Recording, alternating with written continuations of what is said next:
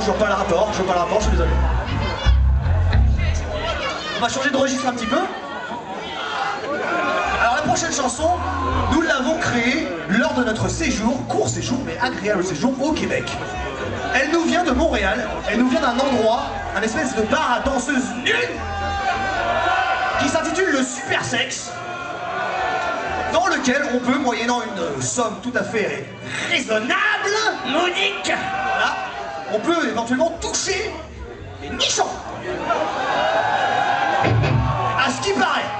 Quand même Également, également les postérieurs, bien sûr. Je sais pas là en France on n'a pas touché les nichons mais... Je sais pas, je... En tout cas, il paraît, c'est une rumeur qui circule comme, quoi qu'on ferait ça là-bas. Cette chanson s'intitule Super Sexe et les paroles sont très simples, vous allez voir. Les paroles c'est Si j'avais 10 dollars, j'irais au Super Sexe pour toucher des nibards et des pères. De fesses évidemment le tremendo.